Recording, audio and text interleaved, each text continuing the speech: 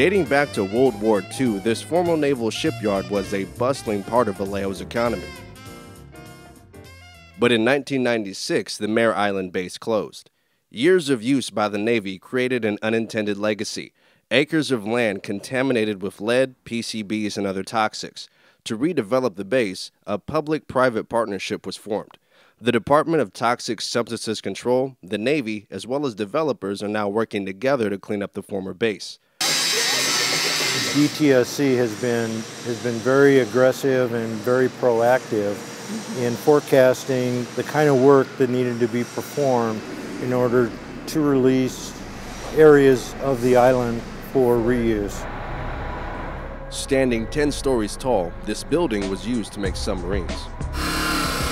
Now it's used to make prefabricated homes. What Henry Ford did with cars we're trying to do the same thing with, with houses. Using recycled steel, offering LEED certified green building standards, and pre-constructing homes for delivery is why Richard Hassel says Blu Homes is the leader in prefabricated green housing. You can solar power it, you can have thermally heated floors. There really is no limit to the uh, cutting edge environmental amenities that can be added during the assembly of your home.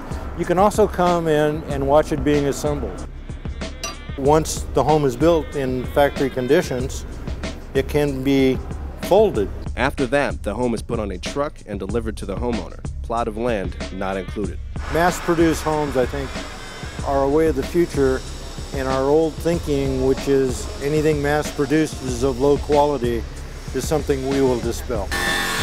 Over 100 jobs have been brought to Vallejo because of Blu Homes, and they say there's more to come. Our expansion plans are adding another assembly line next year, so the numbers are only going to go up. The cleanup of Mare Island is not complete, but Blu Homes is one example of labor and manufacturing coming back to this former naval shipyard.